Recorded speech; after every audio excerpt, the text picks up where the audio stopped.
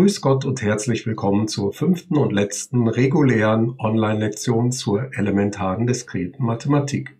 Zum Abschluss soll es heute um zwei Begriffe gehen, der Bedeutung weit über die diskrete Mathematik hinausgeht und die zum Handwerkszeug der gesamten höheren Mathematik gehören und die auch in der Informatik eine gewisse Bedeutung haben. Relationen und Funktionen. Aus der Schule sollten Sie zumindest den Begriff der reellen Funktion kennen.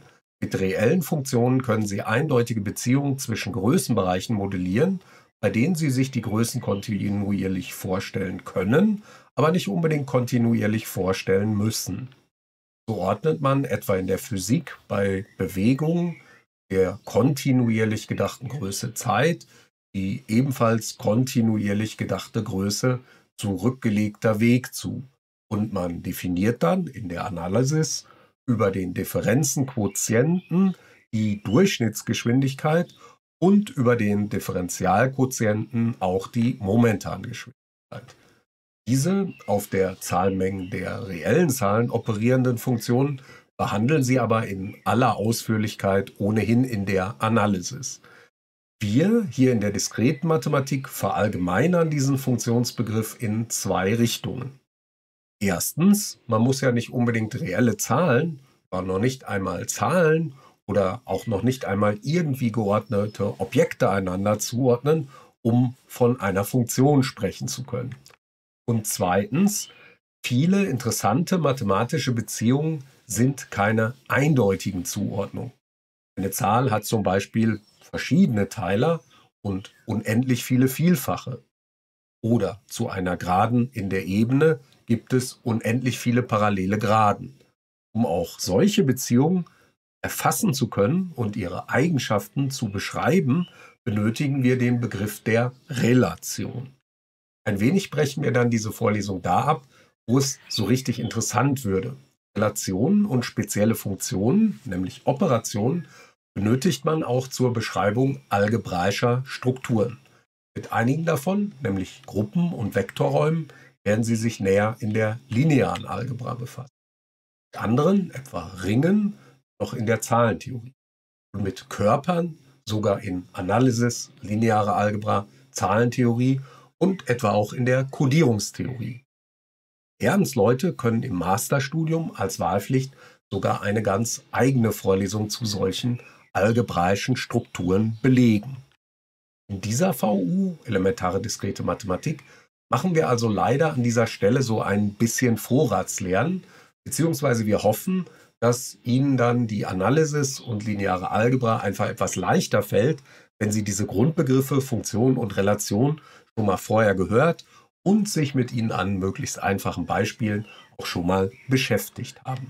Noch ein letzter technischer Hinweis, bevor es wirklich losgeht. Das Video ist in der interaktiven Form, also im Moodle, diesmal etwas einfacher aufgebaut ein durchgehendes Video mit Sprungmarken zu den Abschnitten auf der Folie oben. Und die beiden Übungsteile, die sind da direkt integriert. Einmal vor den Ordnungsrelationen und einmal dann während den Funktionen ist so ein Übungsteil drin. Was ist jetzt eine Relation? Unter einer Relation versteht man ganz vornehm formal aufgeschrieben jede beliebige Teilmenge des kartesischen Produkts von zwei nichtleeren Mengen a und b. Man nennt die Relation auch zweistellig oder binär, weil wir hier eben zwei Mengen haben und das meint das kartesische Produkt, jedes Element der einen Menge mit jedem Element der anderen Menge kombinieren.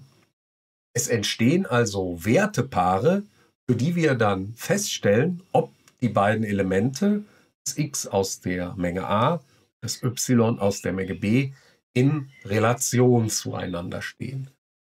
Menge aller Wertepaare, wo die beiden Elemente in Relation zueinander stehen, nennt man dann kurz die Relation. Wenn wir zunächst mal nur an Mengen mit endlich vielen Elementen denken, können wir das auch etwas weniger formal aufschreiben. Zunächst legen wir eine Tabelle an. Elemente von A definieren die Zeilen und die Elemente von B definieren die Spalten. Wenn jetzt AI in Relation zu BI steht, dann machen wir in der Zelle AI, BI ein Kreuz. Vielleicht mal als Beispiel. Die Relation könnte ja lauten, AI steht in Relation mit BI, wenn AI kleiner als BI ist. Wenn wir jetzt die Zahlen, die ganz normalen hätten und wären in der Zeile 2 und würden jetzt in der Spalte 3 gucken, dann würden wir sagen, aha, 2 ist kleiner als 3, also machen wir jetzt in diese Zelle 2,3 ein Kreuz herein. Und so machen wir das jetzt immer weiter.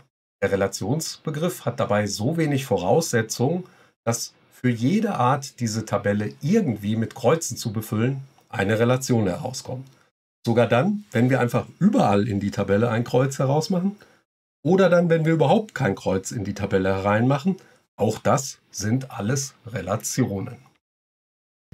Diese Tabelle ist so die Entsprechung einer Wertetabelle bei einer Funktion, aber weil die Zuordnung ja gar nicht eindeutig ist, können wir für ein x, also ein Element aus der Menge a, beliebig viele Werte haben und deswegen haben wir so viele Spalten, wie die Menge b Elemente hat. Bei einer Funktion kämen wir ja mit einer Spalte für die Werte aus, wo wir einfach genau das eine Element aus b hereinschreiben würden, das dem jeweiligen Element aus a zugeordnet.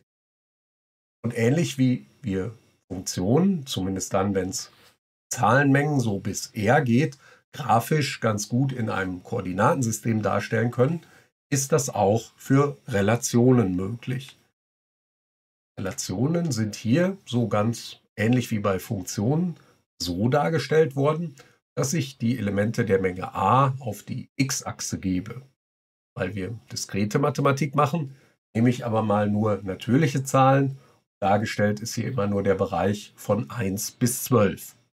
Jetzt mache ich immer dann einen blauen Punkt in das Koordinatensystem, wenn das y, wo ich da den blauen Punkt gemacht habe, zu dem x in Relation steht.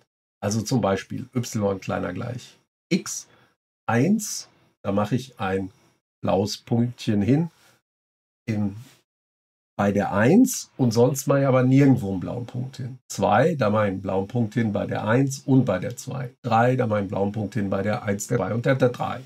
Und dann so weiter. Also ganz links haben wir uns gerade schon angesehen, das ist die kleiner Gleichrelation, die Sie schon kennen. Das ergibt als Graphen also alle Gitterpunkte unterhalb bzw. auf dieser sogenannten ersten Hauptdiagonalen, die ja die Gradengleichung y gleich x hat. Ganz rechts haben wir eine Relation, wo y genau dann in Relation zu x steht, wenn y ein Teiler von x ist.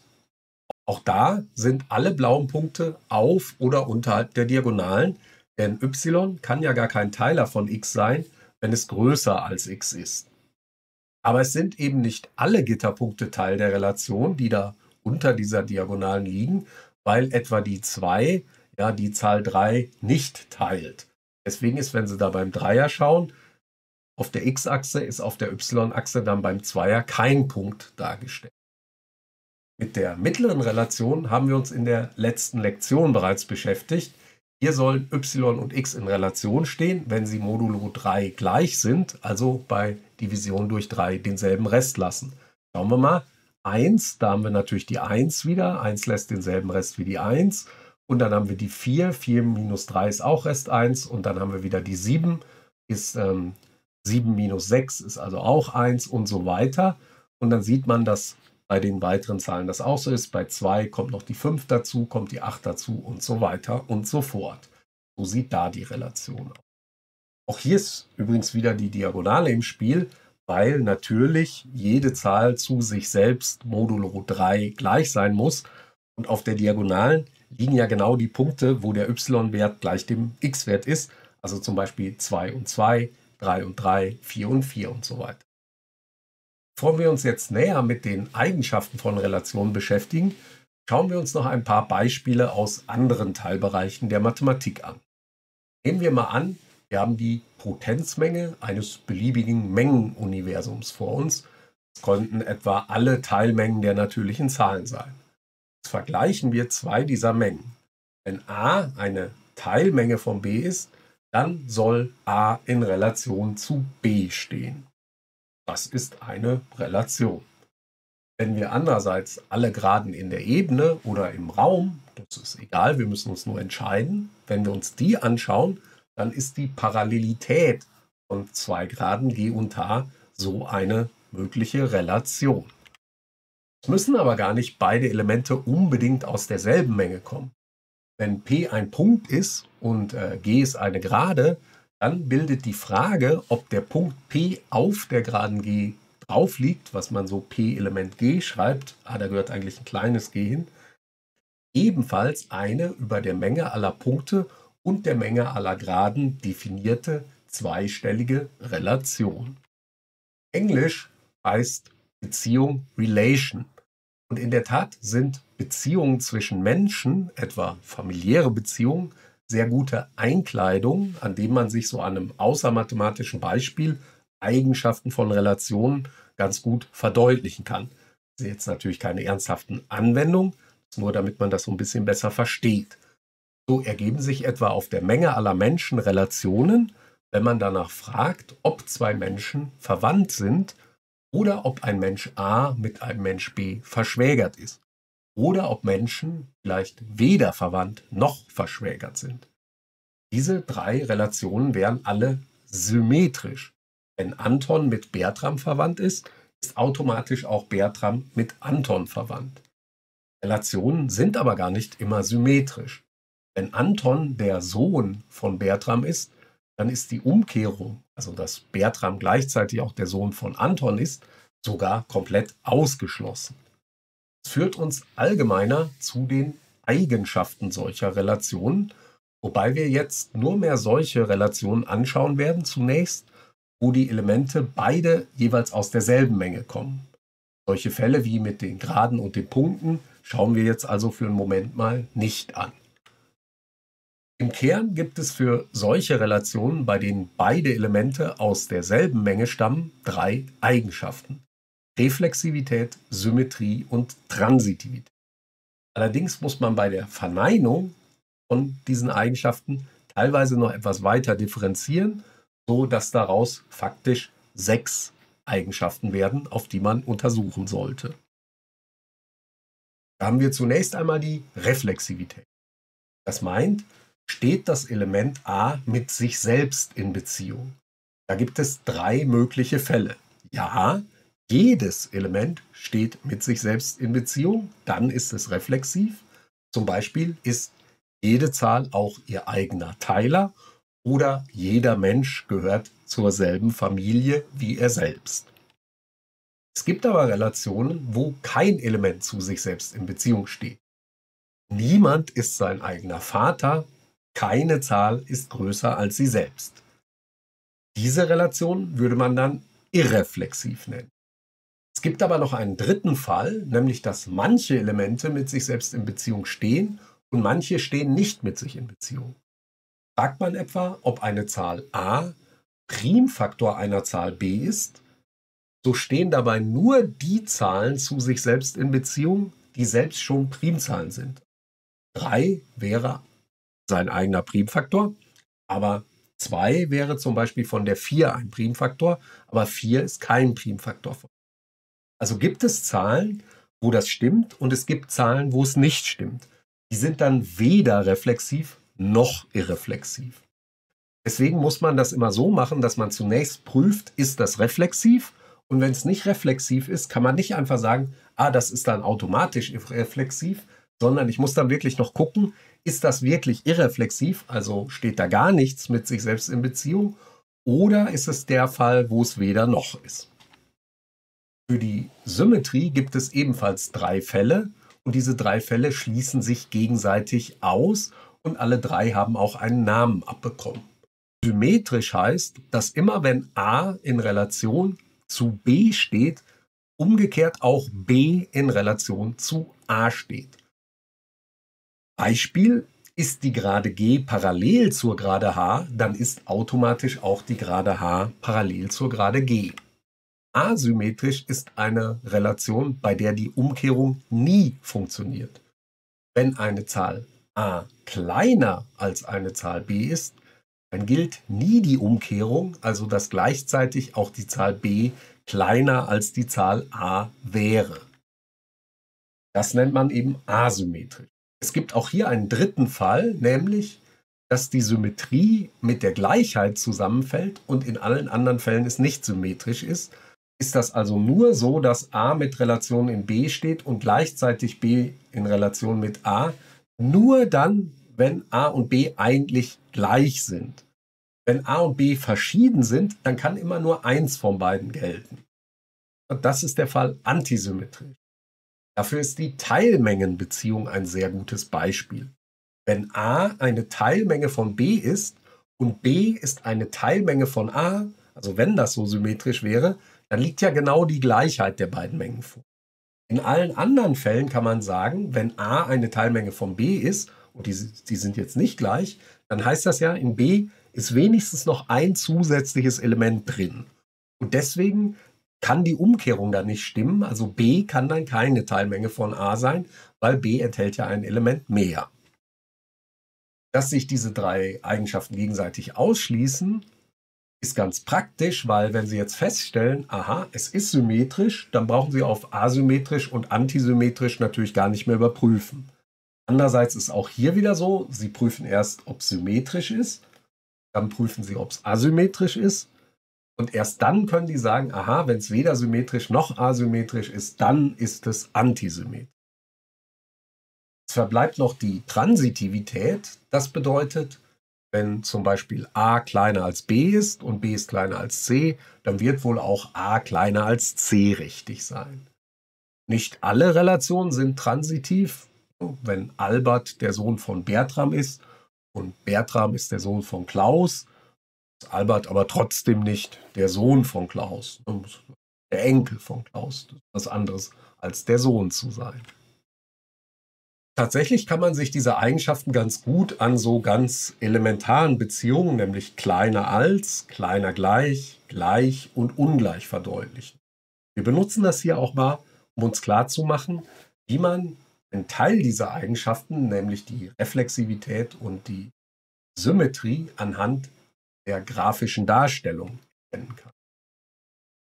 Hier sind die ersten beiden Relationen, also kleiner und kleiner gleich, wieder für die Grundmenge n dargestellt und wieder nur für die ersten zwölf Zahlen. Das soll uns mal reichen. Sehr leicht kann man Reflexivität, Irreflexivität oder keins von beiden prüfen. Es sind nur die Punkte auf der Diagonalen von Interesse, weil diese ja genau die Punkte y gleich x darstellen. Wir dort also sehen, ob eine Zahl zu sich selbst in Relation steht. Bei y kleiner x ist das offensichtlich nie der Fall. Kein Punkt dieser Diagonalen ist Teil der Relation. Wobei wir zugegebenermaßen nur die ersten zwölf Werte sehen. Aber wir sagen jetzt mal, da kommt nie ein Punkt auf die Diagonale und dann wissen wir, das ist irreflexiv. Bei y kleiner gleich x sind alle Punkte auf der Diagonalen Teil der Relation, die Relation ist also reflexiv.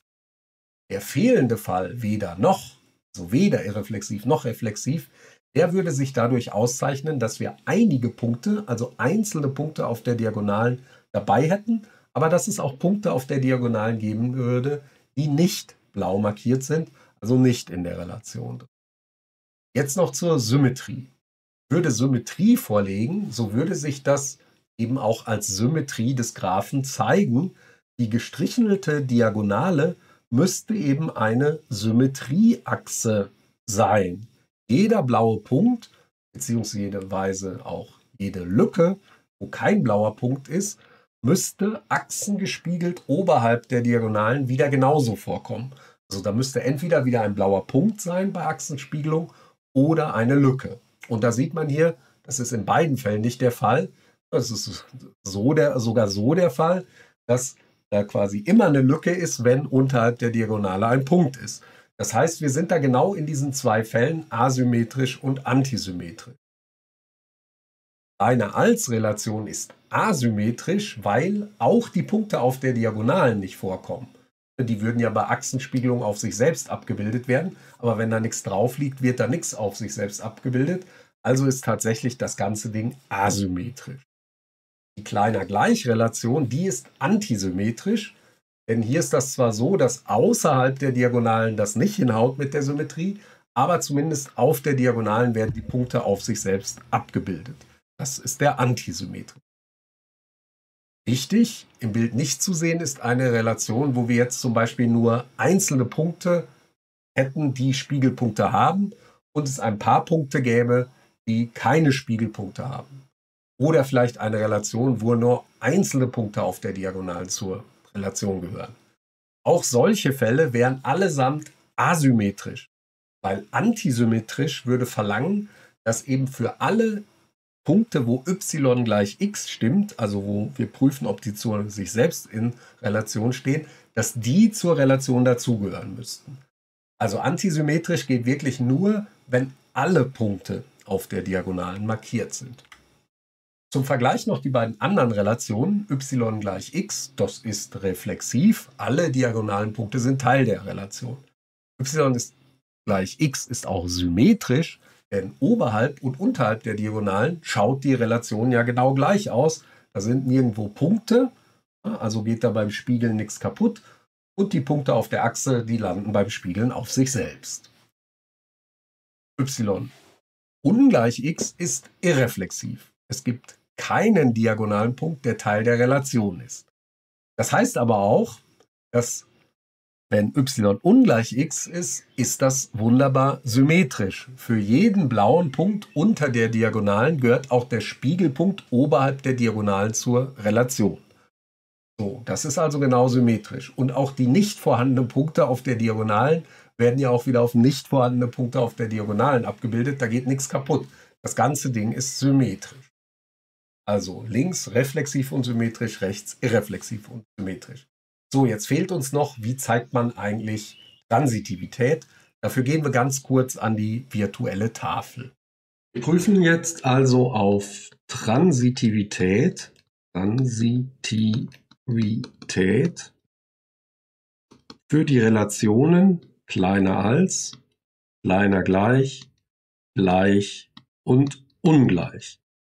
Wir fangen mal mit dem kleiner an. Also die Behauptung ist jetzt Behauptung, wenn a kleiner als b ist und b ist kleiner als c, dann folgt daraus auch a ist kleiner als c.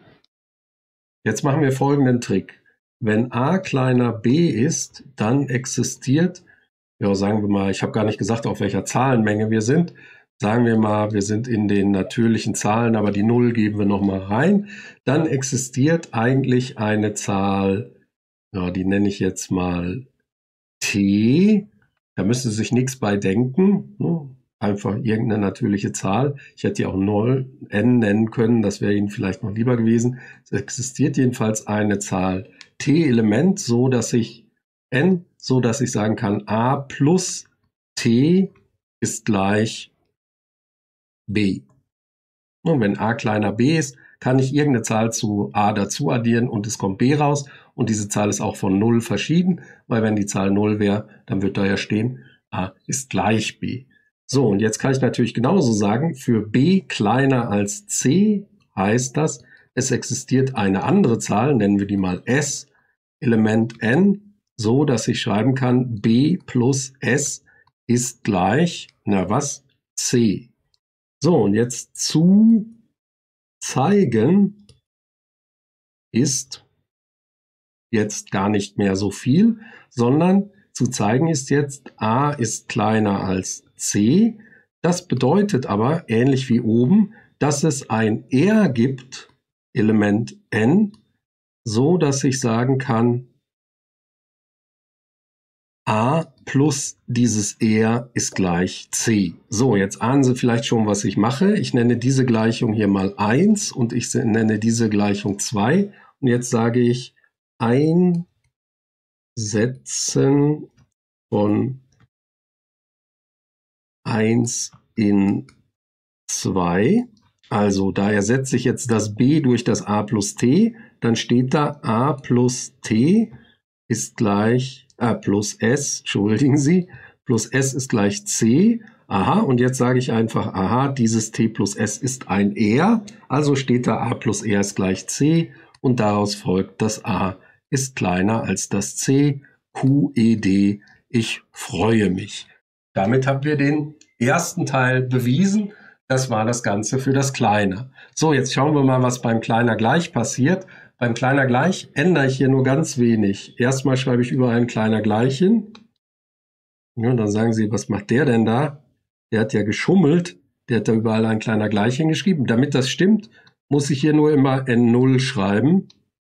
Dann passt die ganze Sache wieder, weil Jetzt wäre der Gleichheitsfall eben auch noch dabei. Es was äh, man zeigen muss, es existiert dann eine Zahl t Element n, so dass a plus t gleich b ist. Ja, entweder das ist äh, 0, dann sind die beiden gleich, oder es ist kleiner, na, dann ist das hier halt von 0 verschieden.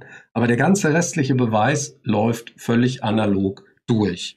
So, damit haben wir indirekt auch schon gleich geklärt. Bei gleich ist das natürlich trivial.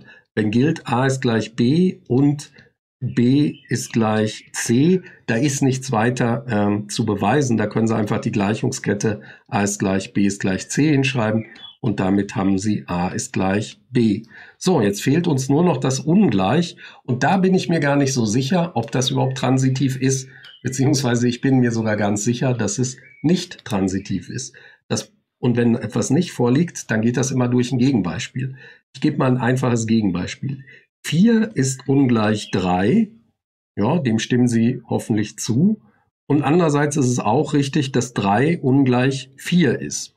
Wenn jetzt aber hier steht ja dann a ist ungleich b und hier steht ein b ist ungleich ein c. Aber daraus folgt eben nicht, dass a ungleich c ist. Ne, das folgt nicht, weil, wenn Sie hier oben mal nachgucken, würde ja dann da stehen, 4 ist ungleich 4. Und das ist offensichtlich falsch. Also ist die Ungleichheit nicht transitiv. Und damit haben wir auch die Transitivität dieser vier Basisrelationen gezeigt. Eine herausragende Rolle nehmen solche Relationen ein, die sowohl reflexiv, symmetrisch als auch transitiv sind. Diese Relationen heißen Äquivalenzrelationen und die bekommen sogar ein eigenes Symbol, so eine geschlängelte Linie. Äquivalenz meint in diesem Fall, dass wir es mit einer Verallgemeinerung von Gleichheit zu tun haben. So ist es etwa eine Äquivalenzrelation, wenn man fragt, ob zwei Zahlen modulo 2 gleich sind.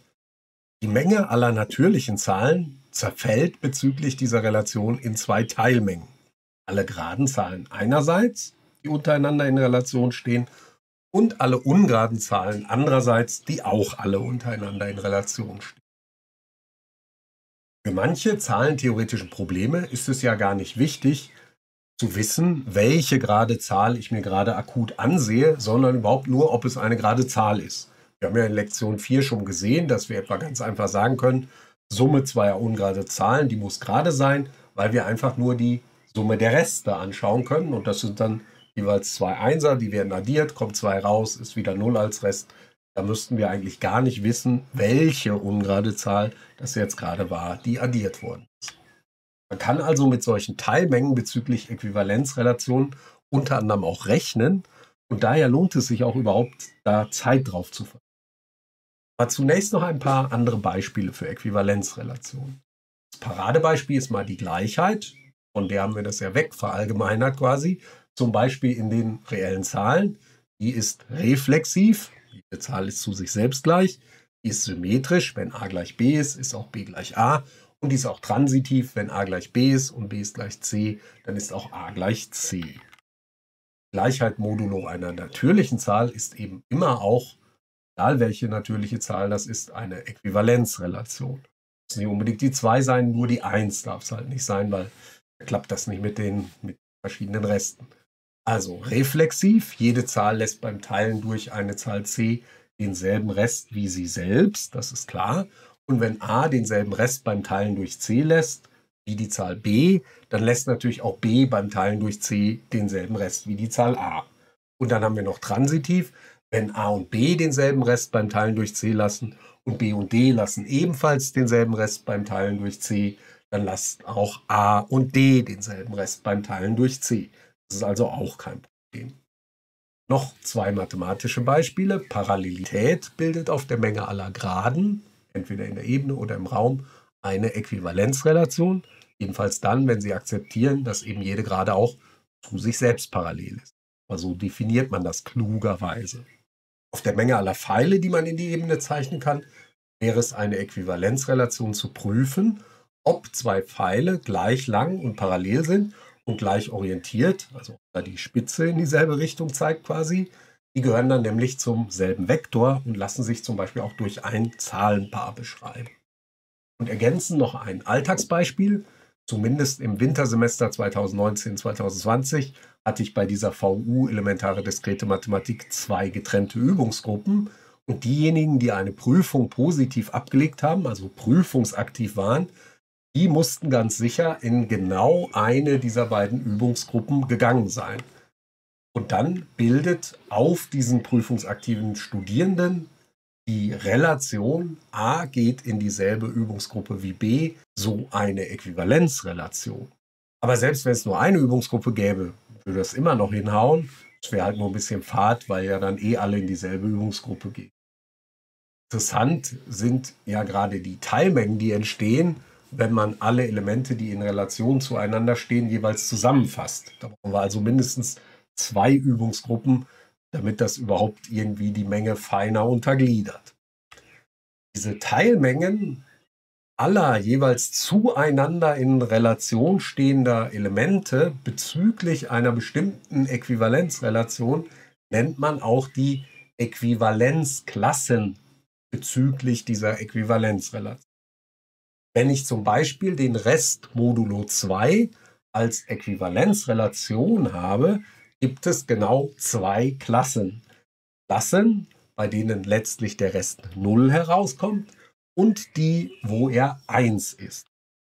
Um diese Reste schreibt man dann auch gerne so eckige Klammern. Zu sagen, das eine ist die Klasse 0, mache ich da so eine eckige Klammer drum. Um die andere, um die 1 mache ich auch eine eckige Klammer. Diese 0, die steht dann ja stellvertretend für alle Zahlen, die modulo 2,0 ergeben, ne? also für alle geraden Zahlen. Und die Zahl 0 nennt man dann auch umgekehrt einen Repräsentanten dieser geraden Zahlen, also der Äquivalenzklasse. Wir könnten aber auch eine andere Zahl aus diesen geraden Zahlen herausnehmen und die zum Repräsentanten erklären. Sagen wir mal die 4, weil die lässt ja auch den Rest 0. Und deswegen könnten wir auch eine eckige Klammer um die 4 schreiben, aber das wäre immer noch dieselbe Klasse. Wir hätten die jetzt nur mit einem anderen Repräsentanten bezeichnet. Die Menge aller Äquivalenzklassen, also in unserem Fall eigentlich die Menge, die diese Nullerklasse und die Einserklasse enthält, nennt man dann auch noch die Quotientenmenge von A nach der Äquivalenzrelation R zwei Äquivalenzklassen, zum Beispiel die Klasse, die wir mit 0 oder mit 4 bei Modulo 2 Gleichheit bezeichnet haben, sind jetzt genau dann gleich, wenn eben diese zwei zur Bezeichnung der Klassen benutzten Repräsentanten äquivalent zueinander sind. Also in Relation zueinander stehen. A Relation B mit dieser geschweiften Linie. Betrachten wir auch hier noch einige Beispiele, um nicht immer nur am Modulo zu und den geraden und den ungeraden Zahlen zu hängen. Auf jeder beliebigen Menge bildet natürlich die Gleichheit oder die Identitätsrelation eine Äquivalenzrelation. Nimmt man etwa die reellen Zahlen her, dann kommen bei Gleichheit als Relation als Äquivalenzklassen aber leider wieder die ganzen reellen Zahlen heraus. Das ist so ein bisschen blöd. Was bringt das? Aber es ist trotzdem wichtig, sich das einfach einmal klar gemacht zu haben. Wenn man alle Pfeile in der Ebene auf Parallelgleichheit prüft, also dieses gleich lang, parallel gleiche Orientierung, dann erhält man als Äquivalenzklassen genau die Vektoren. In diesem Modell sind Vektoren also Mengen parallel gleicher Pfeile. Zunächst vielleicht etwas überraschend, vergleicht man Zahlenpaare natürlicher Zahlen a, b und c, d so miteinander, dass man sagt, die sollen äquivalent sein oder in Relation zueinander stehen, wenn gilt a mal d ist gleich b mal c, dann kommen da als Äquivalenzklassen faktisch die positiven Bruchzahlen raus. Dividieren Sie mal im Kopf die Gleichung durch d und durch c, dann bleibt ja links stehen a durch c ist gleich und rechts steht b durch d. Und dann sehen Sie, aha, da steht also, wenn die wenn das Vielfache voneinander sind, also wenn, wenn, wenn die Brüche gleichwertig sind. Ne, das, die Gleichung, die da steht, das ist genau die, die Ihnen sagt, wann ein Bruch einfach ein Vielfaches eines anderen ist. Und so kann man die positiven rationalen Zahlen, also die Bruchzahlen aus den natürlichen Zahlen heraus definieren. Machen einige Leute auch in der Analysis, deswegen will ich da nicht weiter mich dran aufhalten. Das geht jetzt eher fix, weil wir das quasi schon mehrfach hatten. Für alle natürlichen Zahlen außer der 1 können wir über die Gleichheit modulo c eine Äquivalenzrelation festlegen. Die Äquivalenzklassen nennt man in diesem Fall auch Restklassen modulo c, denn hier stehen ja zwei Zahlen genau dann in Relation zueinander, wenn sie denselben Rest bei Division durch diese Zahl c lassen. Und auch noch eine außermathematische Einkleidung. Über die Relation a hat dieselben Eltern wie b können Sie eine Äquivalenzrelation festlegen. Deren Äquivalenzklassen wären dann eben die Mengen von Leuten mit selben Eltern und die nennen wir üblicherweise Geschwister. Da darf man sich jetzt auch nicht an Einzelkinder stören, weil so ein Einzelkind ist dann eben für sich alleine eine einelementige Äquivalenzklasse. Kommen wir noch einmal kurz zu den Restklassen zurück, die so der wichtigste Anwendungsfall für Äquivalenzklassen in dieser Vorlesung sind. Eine Restklasse A wäre die Menge aller ganzen Zahlen, die modulo n kongruent zur Zahl a sind. Das sieht dann so aus. Die Menge aller b in z, für die gilt, dass b kongruent zu a modulo n ist. Und dieses kongruent, dafür schreiben wir jetzt so ein abgewandeltes Gleichheitszeichen mit drei Linien statt zwei Linien. Sagen Sie vielleicht, was heißt das eigentlich, Kongruenz? Ja, man kann diese Menge auch so hinschreiben, dass man sagt, das ist die Menge aller ganzen Zahlen b, die bei Division durch n eben denselben Rest lassen wie a. Also schreibe ich dahin, b modulo n ist gleich a modulo n. All jene b gehören in diese Äquivalenzklasse a herein. Wichtig ist auch noch, man kann die Menge auch so sich vorstellen, dass man sagt, ich fange mal mit a an und jetzt ziehe ich entweder n von a ab, weil das ist ja modulo n. Und wenn ich von a n abziehe, habe ich auf jeden Fall wieder denselben Rest. Oder ich addiere n dazu oder ich addiere zweimal n dazu oder ich ziehe zweimal n ab oder dreimal oder viermal und so weiter. Also da sind genau die Zahlen drin, für die gilt a minus 3 mal n, a minus 4 mal n, a minus 2 mal n, a plus 2 mal n, a plus 3 mal n und so weiter und so fort. Das ist als Vorstellung auch ganz nützlich, um zu prüfen, ob zwei Zahlen zur selben Äquivalenzklasse gehören. Das können wir jetzt mal ganz feierlich als Satz hinschreiben. Zwei Zahlen a und b gehören zur selben Äquivalenzklasse modulo n, beziehungsweise zwei Äquivalenzklassen eckige Klammer a und eckige Klammer b stimmen genau dann überein, wenn n ein Teiler für die Differenz a minus b ist. Also wenn Sie jetzt mal sagen, Ihr n ist 2, dann wissen Sie, die Zahlen a und b sind modulo 2 in derselben Restklasse, wenn Sie die Differenz der beiden Zahlen durch 2 teilen können. Weil für die ungeraden Zahlen haben Sie immer eine durch 2 teilbare Differenz und die liegen alle in derselben Äquivalenzklasse. Und für die geraden Zahlen haben Sie auch immer eine gerade Differenz und die liegen auch immer in derselben Äquivalenzklasse. Das ist für einige Beweise ganz praktisch, sich so zu denken, was in derselben Äquivalenzklasse liegt. Um die Bedeutung von Äquivalenzklassen zumindest zu erahnen, viel mehr geht eigentlich nicht in äh, dieser Lehrveranstaltung, schreiben wir mal unseren Satz 414 vom letzten Mal, also diesen Homomorphiesatz. Die Summe bzw. das Produkt der Reste ist dasselbe wie der Rest der Summe bzw. der Rest des Produkts. Den Satz, den schreiben wir jetzt etwas anders hin. Addiert man nämlich zwei beliebige Zahlen, die eine aus der Klasse A und eine aus der Klasse B, so landet die Summe sicher in der Summenklasse A plus B. Und genauso multipliziert man zwei beliebige Zahlen, sagen wir mal 5000 und 5001. Eine aus der Klasse A, das ist die Nullklasse, und das andere ist die Klasse B, so landet man bei 5000 mal 5001 auf jeden Fall in der Klasse 0 mal 1, also kommt auf jeden Fall wieder etwas Grades heraus. Man landet in der Produktklasse a mal b. Das Ergebnis einer Addition oder Multiplikation hängt also, wenn man sich nur für die Klasse interessiert, gar nicht davon ab, welchen Repräsentanten man addiert bzw. multipliziert hat. Ob ich jetzt 5000 und 5001 multipliziere, 500 und 501 oder einfach nur 0 und 1, es kommt immer 0 als Restklasse heraus. Verschiedene Zahlen, aber immer 0 als Restklasse. Man nennt das auch Repräsentantenunabhängigkeit oder man sagt, die Addition und Multiplikation auf den Restklassen ist überhaupt mal wohl definiert. Diese Idee, auf solchen Äquivalenzklassen neue Rechenoperationen zu definieren, die wird Ihnen im Studium noch öfter begegnen. Den Lernensleuten mal ganz sicher in der Schulmathematik lineare Algebra, wo wir nämlich die Addition von Vektoren auf Operationen mit den Pfeilen zurückführen. Oder vielleicht begegnet Ihnen das auch in der Analysis, wo man das Rechnen mit reellen Zahlen auf das Rechnen mit solchen Intervallschachtelungen rationaler Zahlen zurückführen kann, die eben denselben Grenzwert haben. Das ist da quasi die Bedingung für die Äquivalenz. Das war jetzt schon eine ganze Menge Stoff. Da wird es Zeit für ein paar Übungsbeispiele.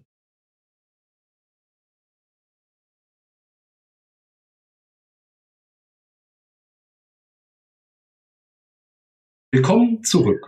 Ganz ähnlich wie man Äquivalenzrelationen als Verallgemeinerung der Gleichheit auffassen kann, kann man auch die Ihnen vertrauten Relationen ist kleiner als oder ist kleiner gleich verallgemeinern. Was dabei herauskommt, nennt man Ordnungsrelationen. Wir beginnen hier mal mit den einfachen Ordnungsrelationen, die sich am kleiner gleich orientieren. Wir werden alle Relationen, die reflexiv, antisymmetrisch und transitiv sind, partielle Ordnungen oder Halbordnungen nennen. Partiell geordnete Mengen oder englisch partially ordered sets sind für die Mathematik und Informatik so bedeutsam, dass sich für diese sogar ein eigener Kurzbegriff POSET etabliert hat. Aber was meint partiell geordnet? Nun, eine Menge ist auch dann noch partiell geordnet, wenn sie Elemente enthält, die gar nicht in Relation zueinander stehen. Bei einer sogenannten totalen Ordnung ist es hingegen so, dass immer a steht in Relation zu b oder b steht in Relation zu a gelten muss. Bei einer partiellen Ordnung wäre das gar nicht erforderlich. Am besten verdeutlicht man sich das wieder an einigen Beispielen. Normale kleiner Gleichrelation ist etwa auf den ganzen Zahlen eine totale Ordnung.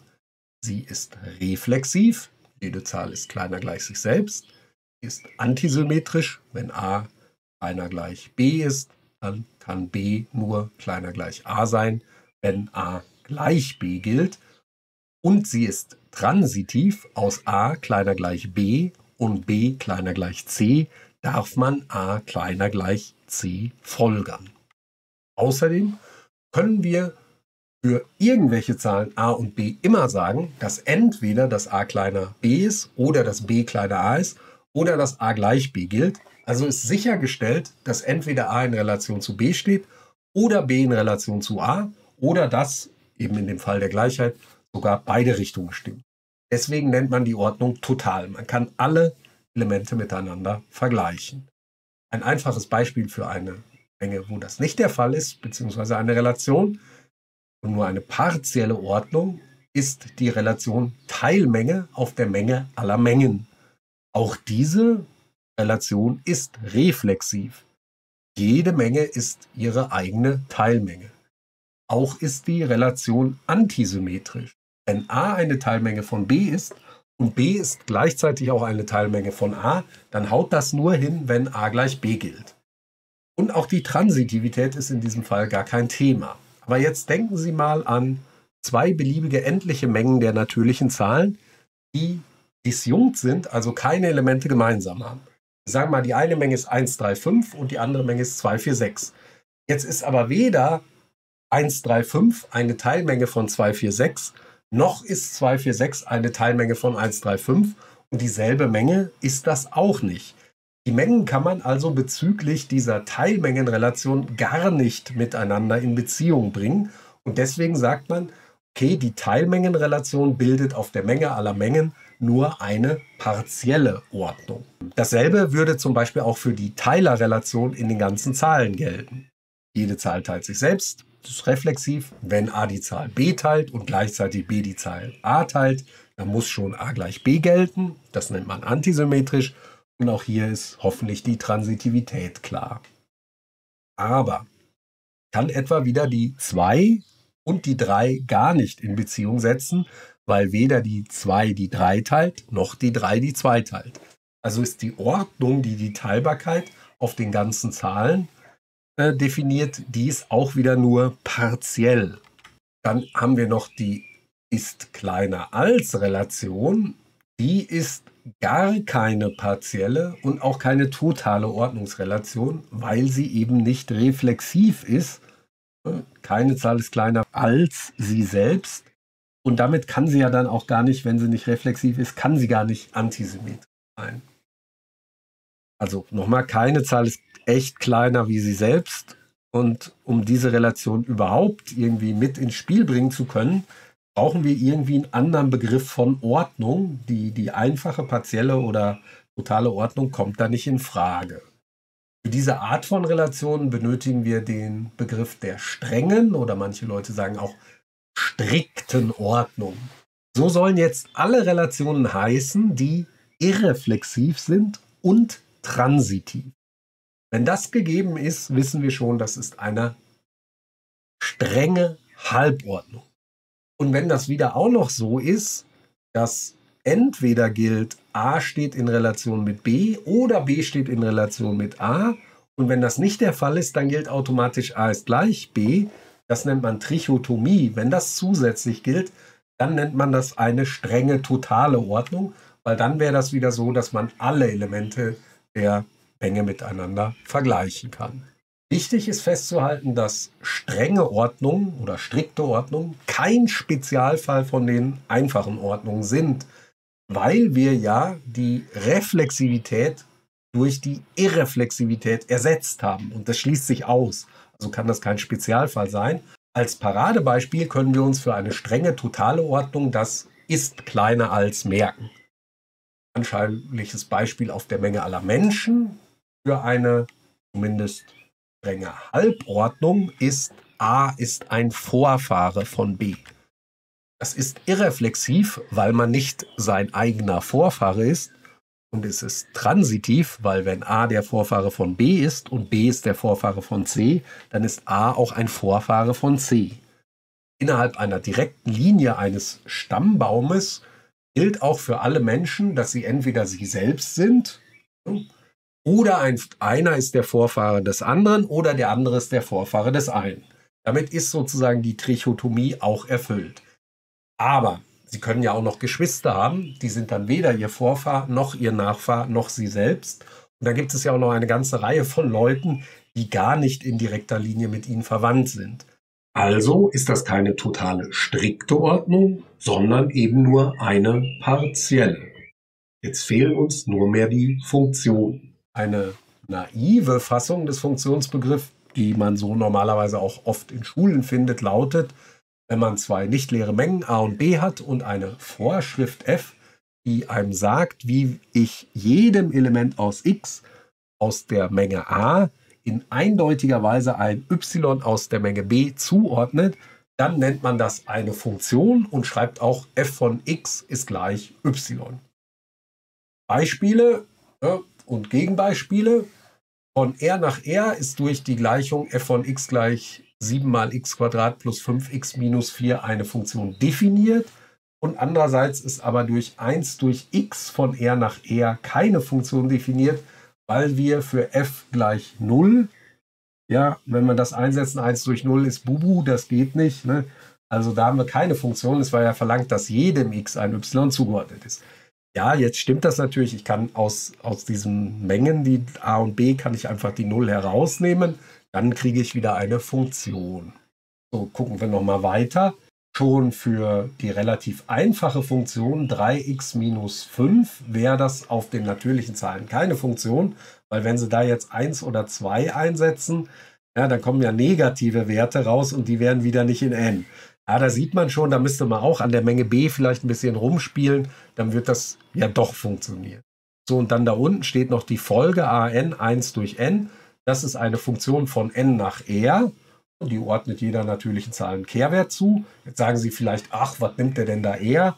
Könnt ihr auch einfach Q plus nehmen, wird ja auch reichen. Ja, das stimmt. Aber es ist ja nirgendwo verlangt, dass äh, wirklich alle Elemente von dieser Menge B dann auch als Funktionswerte vorkommen. Wichtig ist nur, jedes Element aus den natürlichen Zahlen ja, bekommt hier auch wirklich ein Element zugeordnet. Also es gibt jetzt keine Kehrwerte, die irgendwie nicht in den reellen Zahlen liegen. Und das ist auf jeden Fall gegeben. So, und dann vielleicht noch eine andere Funktion, die Teiler-Anzahlformel, die jeder Zahl die äh, Anzahl der Teiler von n zuordnet. Das ist auch ganz normale Funktion. Die läuft sogar von n in die natürlichen Zahlen. So, und äh, eine Achsenspiegelung an der geraden y gleich minus x ist sogar auch eine Funktion. Die Funktion geht halt vom R2 in den R2.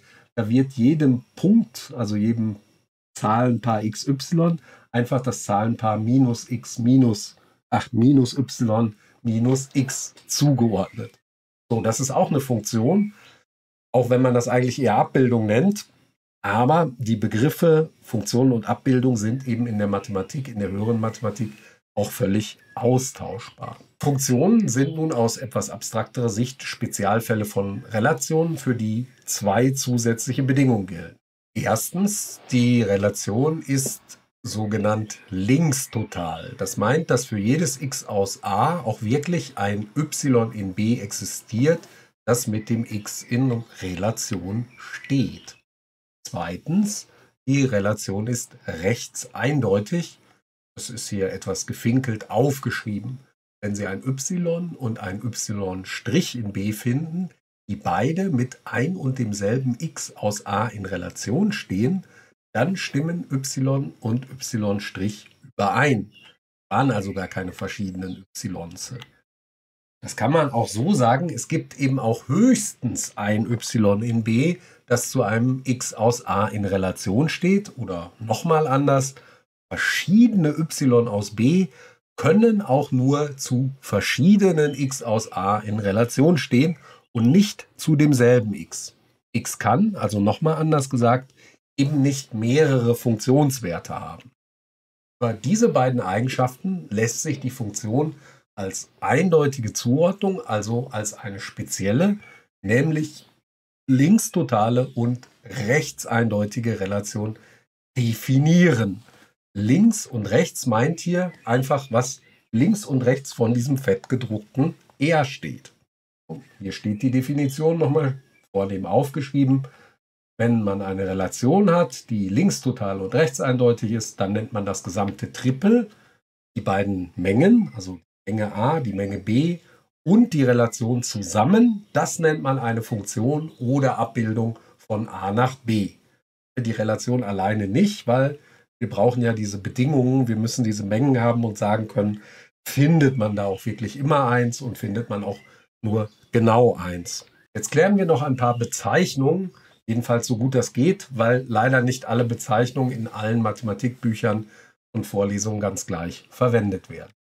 Als Definitionsmenge wird jedenfalls üblicherweise die Menge a bezeichnet, aus der eben unsere x stammen. Kann da auch Definitionsbereich zu sagen, nämlich dann, wenn die Menge so ein Zahlbereich ist, also n, q, r, c oder was Ihnen da sonst noch ein. Etwas blöder ist das bei der Menge b, aus der diese y-Werte kommen. Ganz unproblematisch ist es, diese Menge als Zielmenge oder wenn das wieder Zahlbereiche sind, eben als Zielbereich zu bezeichnen. In einigen Büchern wird aber diese Menge b auch als Wertemenge oder Wertebereich bezeichnet und wir werden gleich sehen, warum das vielleicht nicht ganz so klug ist.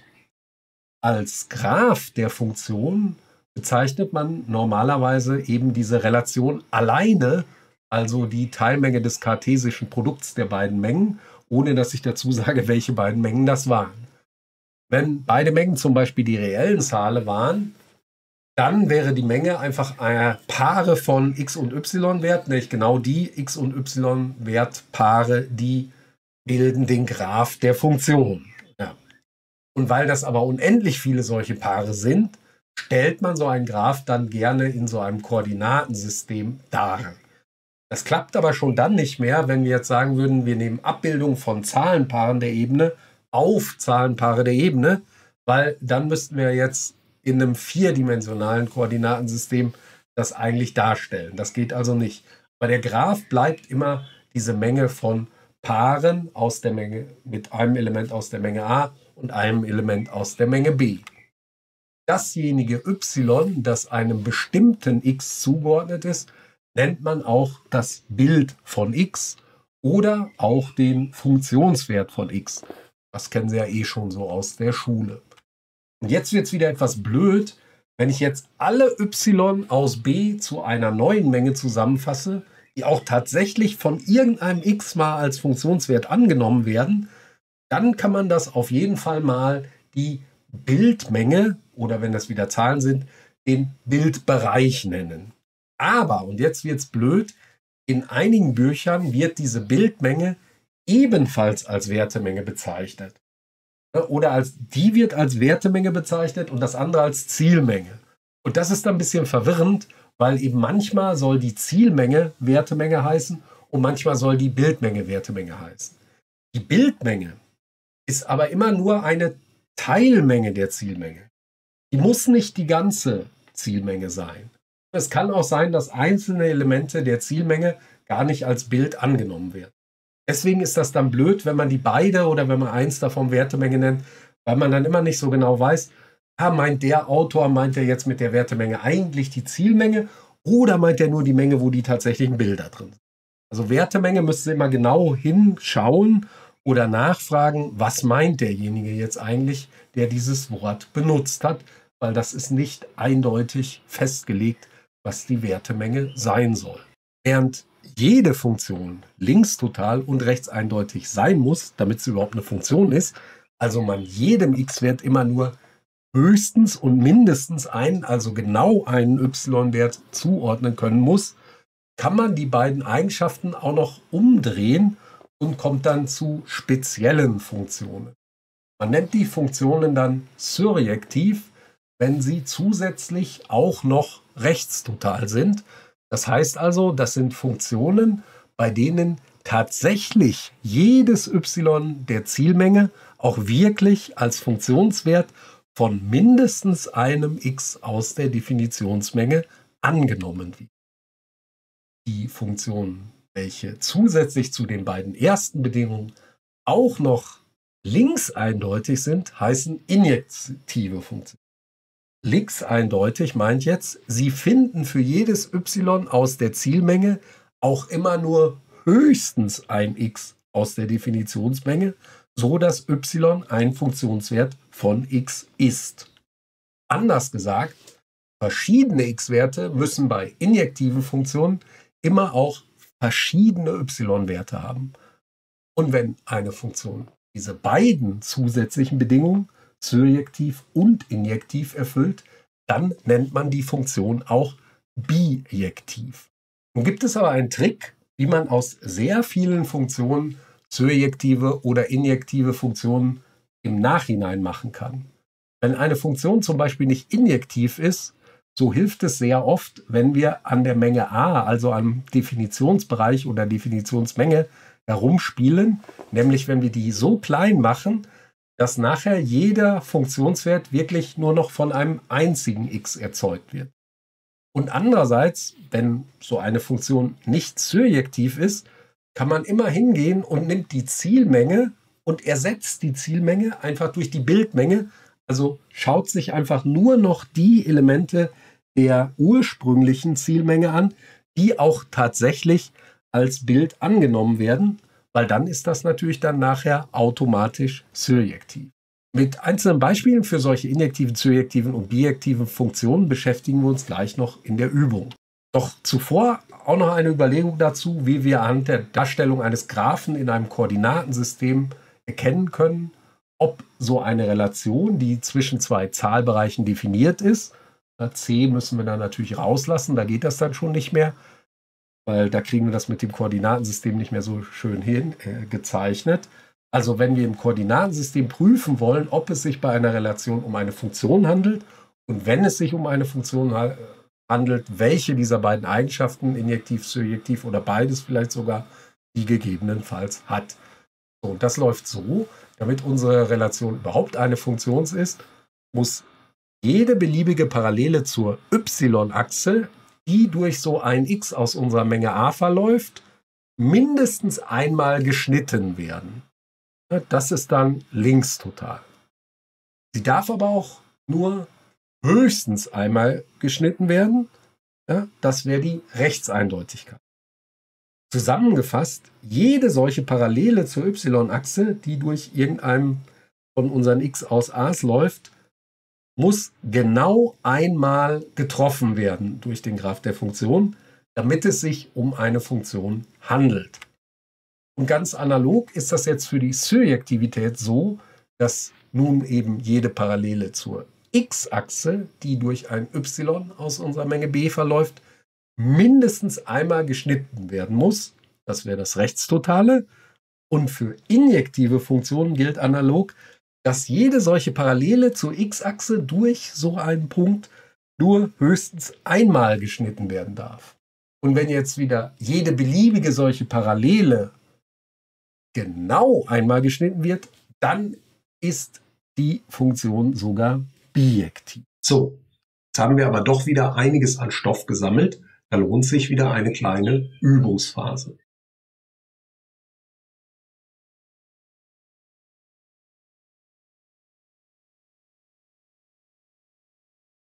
Letzter Inhalt für dieses Semester die Umkehrfunktion.